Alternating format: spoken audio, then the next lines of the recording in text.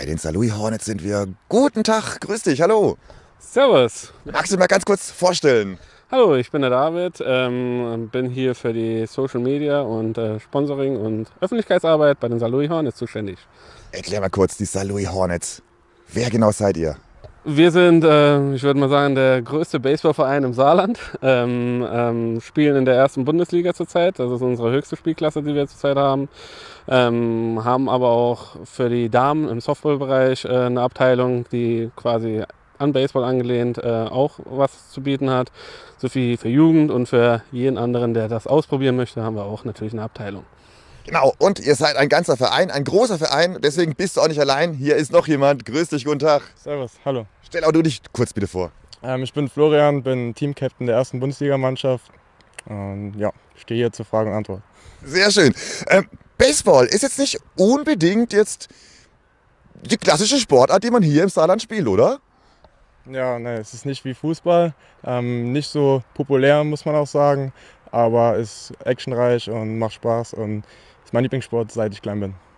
Ja, wäre direkt meine Frage gewesen, seit wann spielst du denn? Ich spiele jetzt seit ich 13, ne, 11 bin. Ähm, hab vorher hatte ich auch mit Fußball probiert, ähm, war nicht so meins ähm, und bin dann zum Baseball gekommen. Okay, erklär mir, wie, wie kommt man drauf? Damals war ein Amerikaner bei uns in der Schule, in der Grundschule. Der hat das ein bisschen vorgestellt im Sportunterricht und fand ich direkt interessant und da bin ich dann drüber hergekommen. Das ist direkt äh, eine spannende Frage. Wie lange gibt es denn den Verein überhaupt schon? Also den Verein gibt es jetzt seit 1992. Ähm, wie gesagt, er ist entstanden quasi ganz ursprünglich auch im Völklinger Raum. Dann gab es äh, die Lokomotive Boost, so viel wie ich weiß. Ähm, und dann irgendwann hat man sich entschlossen, hier im wunderschönen Saarlouis ein tolles Feld jetzt aufzumachen und ja, quasi den Verein hier nach vorne zu bringen. Auf jeden Fall eine ganz, ganz spannende Geschichte. Und ähm, ja, ich habe es ja eben schon gesagt, es ist nicht unbedingt jetzt die, wahrscheinlich die erste Wahl, die man hat bei Sportarten und die man in der äh, Freizeit bringen kann. Aber ähm, ja, hier in Saarlouis kommt das richtig gut an.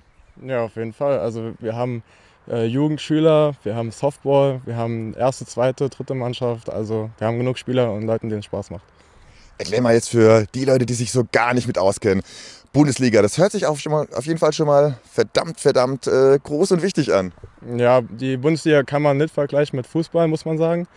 Ähm, zeitaufwendig ist sie trotz alledem. Ähm, weite Wege zu den Spielen haben wir auch, ähm, viel Training und es ist in Deutschland mittlerweile auch eine gute Liga. Ähm, also man kann sich sehen lassen im Vergleich zu Holland, die zum Beispiel sehr gut sind in Europa. Ähm, Deutschland wird recht gut im Moment, ja. Ich glaube, ihr müsst euch, ihr müsst uns gleich mal ein bisschen euer Spielfeld zeigen. Ich zeige es mal kurz. Im Hintergrund ist es nämlich schon. Ähm, David hat es ja gerade eben gesagt, hier wurde hier auch extra angelegt. Und hier findet auch heute euer Training statt.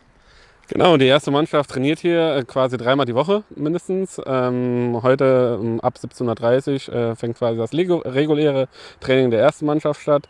Ähm, wenn jemand Lust hat, natürlich in der zweiten, dritten Mannschaft oder in den Jugend, äh, gibt es halt die Termine bei uns auf der Homepage, beziehungsweise äh, für, die, für die zweite Mannschaft ist es jeweils Montag und Mittwochs ab 18 Uhr bis 20 Uhr. Und für die Jugend ist es, glaube ich, jetzt heute auch zeitgleich. Äh, die fangen ein bisschen früher an, hinter mir auf dem Softballfeld, weil wir haben insgesamt zwei Felder hier zur Verfügung.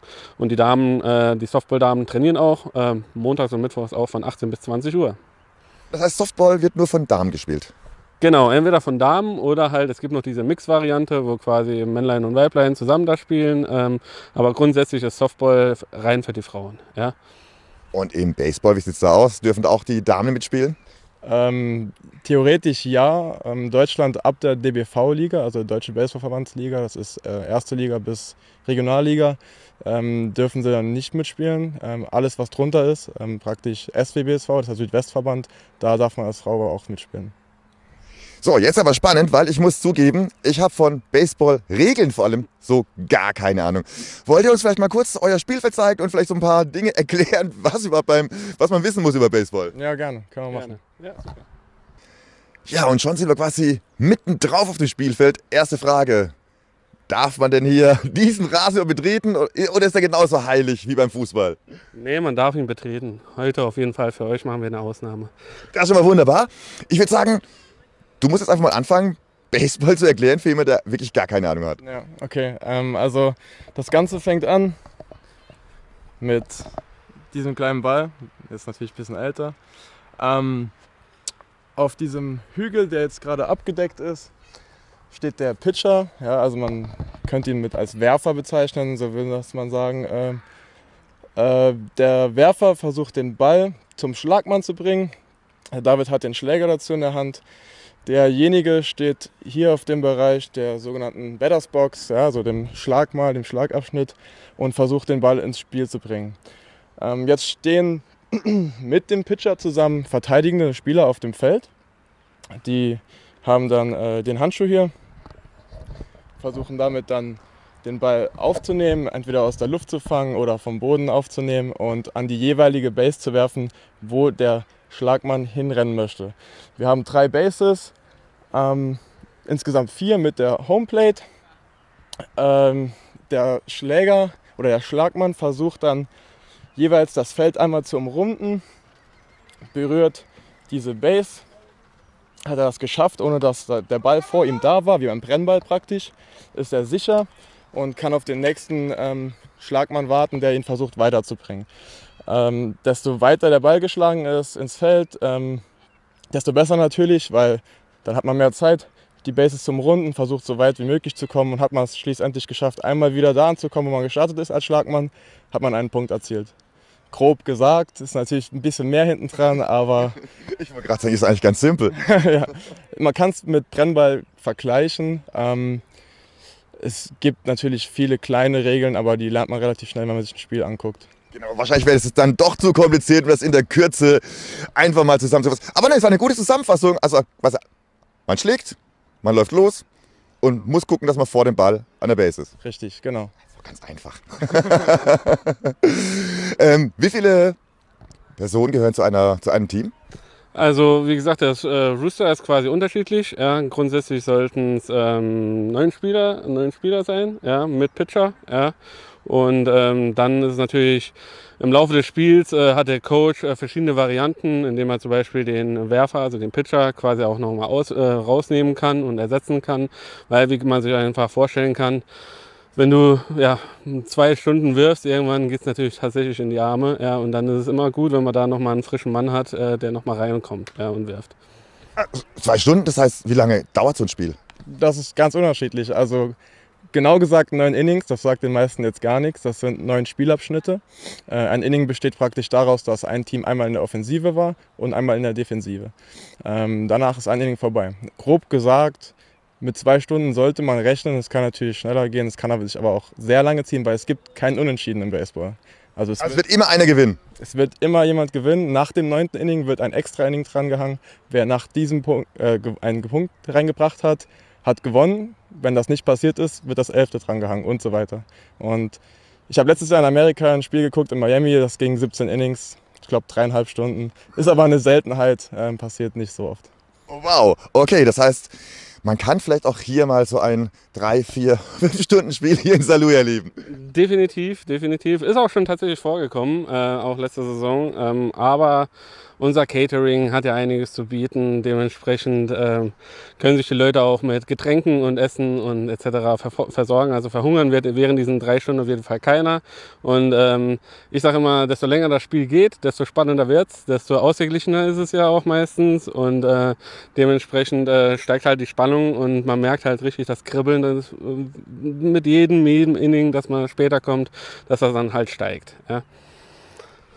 Heute findet ja erstmal hier euer Training statt. Die Spiele finden immer am Wochenende statt bei euch? Äh, grundsätzlich schon. Ähm, in dieser Saison haben wir jetzt die Besonderheit, dadurch, dass die Europameisterschaft in Deutschland stattfindet, ja, in Bonn und in Solingen. Ja. Ähm, dementsprechend ähm, ist die Saison ziemlich kurz. Also das heißt, wir fangen ja, wie du merkst, halt auch schon relativ früh an. Ja. Es ist noch nicht das optimalste Wetter, das man sich vorstellen kann. Aber ähm, wir fangen quasi jetzt im März an und das letzte Heimspiel offizieller Saison ja, ähm, vor den Playoffs, Playdowns, ist, äh, glaube ich, Ende Juni schon. Ja. Dementsprechend äh, ja, ist es halt äh, quasi doch relativ kurz die Saison. Ja. Auf jeden Fall wirklich sehr, sehr spannend. Auch ja, mal eine andere Sportart. Du hast jetzt gesagt, du hast ja schon relativ jung mit Baseball angefangen. Kann man denn jederzeit bei euch einsteigen in den Verein? Klar, jederzeit. Also die meisten Jungen äh, oder Eltern bringen ihr Kind, wenn sie hier im Verein sind, mit drei ungefähr rein. Das ist dann T-Ball. Ähm, ist dann eine ganz, ganz abgeschwächte Version, bringt die ans Werfen und ans Schlagen ran, macht aber auch ultra Spaß den Kindern. Ähm, wir haben aber auch Leute, die fangen mit 40, 45, 50 nochmal an und Bestes Beispiel ich. Also ich habe bis vor drei Jahren, weil ich halt beruflich sehr viel unterwegs und äh, konnte meine Leidenschaft zum Baseball leider nicht äh, körperlich ausfüllen. Ja. Und vor drei Jahren habe ich selber angefangen zu spielen und jetzt dann mit 33, 34 ja, ähm, versuche ich trotzdem noch der Mannschaft irgendwelche Impulse zu geben. Also deshalb, also für jeden auf jeden Fall was dabei, für alle jung, alt, ähm, ja, Frau, Mann, egal. Wir sind alle herzlich willkommen. Wir freuen uns über jeden, der das mal ausprobieren möchte und Teil der Familie sein möchte. Aber nicht nur das, man kann euch natürlich auch hier zuschauen, wenn ihr spielt. Genau, also zuschauen ähm, sehr gerne. Ja, also auch ähm, die erste Bundesliga, wie gesagt, findet immer Samstag statt. Ja, immer ähm, meistens so ab 12 Uhr, dadurch, dass wir zwei Spiele hintereinander immer haben, um halt quasi Reisestrapazen beziehungsweise auch den Geldbeutel der Teams ein bisschen zu schonen, ähm, finden immer beide Spiele an einem Tag statt mit einer 30-minütigen Pause. Und ähm, wie gesagt, alle Infos, ihr könnt uns gerne auf Facebook folgen, Instagram oder halt auf unserer Homepage. Da stehen alle Daten quasi drin. Und von denen, wer sich das quasi eine Etage tiefer oder zwei, drei Etagen tiefer angucken möchte und gerne mal auch mal ähm, die zweite Mannschaft supporten möchte, der ist auch herzlich eingeladen. Da ist der Eintritt frei. Und für die erste Mannschaft kostet der Eintritt für ein Spiel 5 Euro, was quasi im Bundesliga-Leistungssport ein sehr, sehr fairer Preis ist, wie wir finden. Und äh, Saisonkarte, also für alle Spiele, auch die Playoffs, Playdowns, 25 Euro. Kann man nicht sagen, super Preis. Das ist nicht nur ein super Preis, das ist ein mehr als fairer Preis, würde ich sagen. Und man hat auch dann die Möglichkeit, hier, ihr habt hier ein paar Tribünen, da kann man gut sitzen. Auch hier hinter dem Netz sind Möglichkeiten, sich das ganze Spiel anzuschauen. Und ihr habt mir verraten, von hier herrscht richtig, ähm, ja, ich sag mal fast schon Campingstimmung, ähm, weil hier dieser Platz ist dann voll mit ja, Liegestühlen, Bänken, allem möglichen. Und hier kann man dann echt mit bestem Ausblick das Spiel verfolgen. Genau, also wie gesagt, also jeder ist eingeladen, seine eigene Sitzmöglichkeit, Campingausrüstung äh, mitzubringen. Das Einzige, was sich jeder irgendwie gewahr sein muss, äh, fliegende Bälle. Ja, das sind ein nicht zu unterschätzender Risikofaktor. Ja, also selbst wenn es mal bei ein, zwei, drei Bierchen bleibt, ja, sollte man trotzdem immer so ein Auge auf dem Spielfeld haben, wo der Ball dann hingeht, beziehungsweise auch zuhören, wenn einer ruft, Heads up! Ja, dann auf jeden Fall mal gucken, einen Blick in die Luft äh, werfen, um zu gucken, ob nicht eventuell der Ball in deine Richtung kommt. Ja. Die Sprache hier beim Training oder auch beim Spiel, die ist dann wohl Englisch bei euch. Nur Englisch, ja. Also wir haben einen englischen Trainer, wir haben Spieler aus Puerto Rico, aus Venezuela. Ähm, das ist, wir müssen Englisch reden, um zu verständigen. Es ist im Baseball auch relativ normal. Also der Schiedsrichter redet Englisch. Ähm, für die Zuschauer wird das kein Problem sein. Das sind zwei, drei Begriffe, die man sich schnell merken kann. Äh, aber ich habe hier auch Englisch gelernt in, durch den Sport und jeder, der kommt, wird auch in Englisch besser werden. Das kann ich versprechen. Sieht man mal, noch ein Vorteil, warum Baseball ein toller Sport ist. Äh, wir haben gerade eben gehört hier, Heads up. Verletzungen schon mal gehabt? Ähm, ich habe mich tatsächlich schlimmer verletzt beim Hobbyturnier Fußball damals. Da war ich schon zwei, drei Wochen raus und konnte nicht mehr Baseball trainieren, was ziemlich blöd war. Aber ähm, ja, blaue Flecken, aber viel, Und die gehören dazu. Viel schlimmer auch nicht. Man hat mal Schulterschmerzen nach dem Werfen, aber ist genau. halt. Aber der Sieg macht es dann wieder wett und lässt einen die Schmerzen schnell vergessen, weil dann weiß man, wofür es sich gelohnt hat. Ja, auf jeden Fall, erklär noch mal ganz kurz die Saloy Hornets. Wo findet man euch denn am besten? Wie gesagt, ähm, am besten äh, Facebook und Instagram. Ja, um Saloy Hornets einfach eingeben, da findet man es direkt. Ähm, auch auf unserer Homepage www.salui-hornets.de und für sämtliche Anfragen, wenn einer mal, ähm, keine Ahnung, mal anfragen möchte, aber wann er vorbeikommen kann, für zum Beispiel für die zweite Mannschaft fürs Training, kann er gerne eine E-Mail an baseball.salui-hornets.de schicken. Für Softball ähm, ist es dann softball.salui-hornets.de und für Jugend, wer wundert, äh, jugend.salui-hornets.de. Ja. Ansonsten einfach Salui Hornets merken. Ist vielleicht am einfachsten irgendwo auf eine Suchmaschine gehen. Genau. Da wird man euch garantiert finden. Hundertprozentig, hundertprozentig. Also wie gesagt, wir äh, sind äh, online sehr aktiv, ja, versuchen unsere Community weiter auszubauen und ähm, freuen uns auch über euch, ja, dass ihr uns quasi auch hier die Möglichkeit bietet, ähm, uns quasi unseren Verein ähm, und auch den Sport allgemein, ja, weil in Sa im Saarland ist es den meisten halt nicht bekannt. Wir haben hier noch die Saarbrücken River Bandits, wir haben noch die, St. Inbert äh, Red Devils, auch als Baseballvereine, die hier noch existieren. Natürlich ist halt Salui mit, ihrer, mit seiner Strahlkraft der ersten Bundesliga ja, gegenüber den anderen ein bisschen im Vorteil. Wir haben auch hier mit Abstand also wirklich ein wundervolles Feld, das letztes Jahr hier auch zu Ende mit eigener Kraft auch zu Ende umgebaut wurde. Und dementsprechend freuen wir uns einfach über alle, die Lust daran haben, am Vereinsleben teilzunehmen und das Ganze mal auszuprobieren. Und hier ist noch ein Spieler der Salui Hornets. Grüß dich. Hallo. Magst du dich mal kurz vorstellen, bitte? Ja, ich bin der Maximilian Raber. Ich spiele bei den Salui Hornets jetzt schon seit knapp 20 Jahren. Und ja, bin schon ein langes Mitglied. Auch an dich die Frage, wie kommt man auf Baseball? Ähm, bei mir war es eher zufällig. Äh, mein damaliger bester Freund hat äh, Baseball gespielt, der jetzt nicht mehr Baseball spielt und ich bin dabei hängen geblieben sozusagen. Und die Liebe zum Spiel entdeckt und seitdem hier gewesen. Was ist denn für dich so das richtig, ja was würdest du sagen, Baseball ist geil, weil? Ähm, vor allem ist es, weil es eine schöne Mischung ist aus ähm, Teamsport und Einzelsport. Man kann sich nicht verstecken. Irgendwann muss jeder am Schlag stehen ja, und sich mit dem Pitcher messen. Und es ist halt ganz viel, was mental entschieden wird. Das muss ein bisschen genauer erklären. Ähm, als Beispiel, wir hatten letzte Saison eine sehr durchwachsene Saison, würde ich sagen.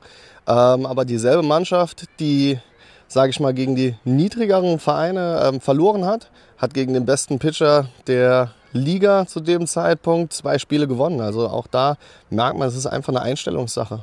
Also ist einfach alles drin beim Baseball. Richtig. Also wir können gegen die schlechtesten Mannschaften verlieren und gegen die besten gewinnen, solange wir unser bestes Baseball spielen. Ein bisschen Glück gehört natürlich immer dazu, aber es ist alles möglich im Baseball. Wie ist es vom Zeitaufwand her, sowohl die Trainings, aber auch die Spiele?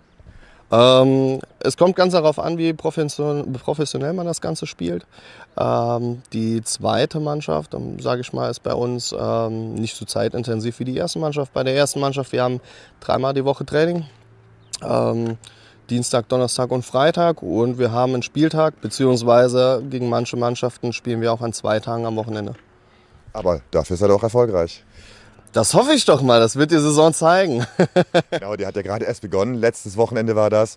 Das heißt, jetzt geht's los. Ah, wie war denn das erste Spiel oder die ersten beiden Spiele? Die ersten beiden Spiele haben wir, muss man so sagen, ganz deutlich verloren. Ähm, es ist nicht so verlaufen, wie wir uns das vorgestellt haben. Es waren noch mehrere Abstimmungsprobleme in der Mannschaft. Und dann hat man einfach gesehen, dass wir auch mit wetterbedingt die Vorbereitung wenig Live-Pitching gesehen haben. Das heißt, wir haben wenig Pitches vorher gesehen. Also es waren viele gute Sachen dabei, aber auch noch viele Kleinigkeiten, die nicht gestimmt haben. Und das wird auf dem Niveau direkt bestraft. Also von daher. Das heißt für euch noch ein bisschen mehr trainieren und vielleicht noch ein paar mehr Fans, die euch bei den Heimspielen vor allem besuchen und so richtig anfeuern. Das wäre super. Also wir hatten sehr viele Zuschauer am Wochenende. Ähm, mehr können es immer wieder sein. Äh, viele sind gekommen, um uns einfach spielen zu sehen. Es sind viele Familienmitglieder als auch Freunde. Und wir haben neue Personen Baseball begeistert, wie ich am Wochenende gehört habe. Ähm, es waren ein paar Zuschauer da, die sind noch geblieben und mit denen haben wir uns dann auch nach dem Spiel noch ein bisschen unterhalten. Das war eine ganz lockere Runde. Wunderbar. Max, vielen lieben Dank und viel Spaß beim Training. Dankeschön. Ein weiterer Spieler ist hier bei mir. Wenn du dich mal kurz vorstellen magst. Ja, hallo, ich bin der Alexander. Ich bin 28 Jahre alt, komme aus Saloy und ja. Und bist Baseballspieler? Ja, genau. Erklär mal, wie bist du auf Baseball gekommen? Äh, ich war damals auf dem Knacksfest in Saloy und äh, da hatten die Hornets einen Cage und da konnte man halt Probe äh, schlagen und ja, da hat es mir so viel Spaß gemacht, da bin ich ins Training gegangen und bin dabei geblieben. Und wahrscheinlich war es auch direkt erfolgreich. Ja, am Anfang noch nicht so und dann hat sich mit der Zeit halt, habe ich mich weiterentwickelt und ich bin jetzt äh, Spieler der ersten Bundesliga. Oh, da kann man doch schon stolz auf sich sein auch. Ja. Ähm, wie ist so das, äh, ja, wie, wie darf ich das vorstellen? Wie ist so der, der, der Zusammenhalt in der Mannschaft? Wie ist das hier bei euch? Äh, ja, ist eigentlich ganz cool. Also wir machen auch neben dem Baseballplatz ganz viel zusammen und äh, es macht schon Spaß, auch während dem Training. Also ist richtig tolle ja, Freizeitgestaltung auch. Ja, genau. Ähm, ich habe schon mal den, den, anderen Kollegen gefragt, ähm, wie zeitaufwendig das ist. Ist das, ähm, kann, ist das gut mit dem Job vereinbar auch? Äh, ja, also es ist schon zeitaufwendig. Wir haben dreimal die Woche Training. Äh, daneben müssen wir natürlich noch ins Fitnessstudio gehen und uns anderweitig noch fit halten. Und da wird es halt schon ab und zu stressig mit dem Beruf. Oh, das, ist, das war jetzt aber interessant. Das heißt, ähm, ich sag mal, das Training, Anführungsstriche, alleine reicht nicht aus, um jetzt auch diese, so ein Turnier zu gestalten. Äh, genau, also wir gehen halt noch regelmäßig ins Fitnessstudio, dreimal die Woche und äh, versuchen uns halt durch Laufen gehen oder anderes Training noch äh, fit zu halten.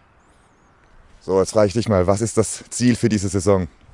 Also für mich persönlich, äh, ich möchte mich immer weiterentwickeln, immer besser werden von Jahr zu Jahr. Und ähm, mit dem Team möchte ich gerne die Playoffs erreichen. Ihr beiden, bei euch geht es gleich das Training los. Hier nach und nach trudeln sie alle ein. Na, ein paar getraut sich noch nicht, die haben wahrscheinlich ein bisschen Angst vor der Kamera heute. Aber die werden gleich kommen und dann geht es hier los bei euch. Ich bedanke mich bei euch, dass ihr uns ein bisschen mal Baseball erklärt habt. Zumindest ihr habt es versucht. ähm, ich wünsche euch viel Erfolg, viel Spaß und ja, ich sage einfach mal, wir kommen bestimmt wieder. Bis zum nächsten Mal. Vielen Dank. Dankeschön.